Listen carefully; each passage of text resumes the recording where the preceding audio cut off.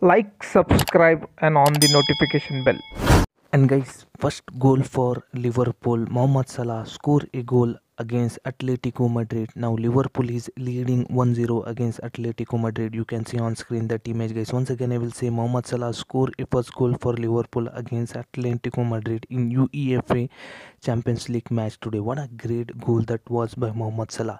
Guys, if you are a fan of Mohamed Salah, don't forget to like, share and subscribe the channel on the notification bell for all these type of update. Now Liverpool is leading 1-0 against Atletico Madrid guys. Once again I will say Mohamed Salah score a goal today against Atletico Madrid. You can see on screen that image. Liverpool is now 1 Atletico Madrid is 0. Mohamed Salah score a goal today against Atletico Madrid. Liverpool is 1. Atletico Madrid is 0. Thank you very much for watching this video.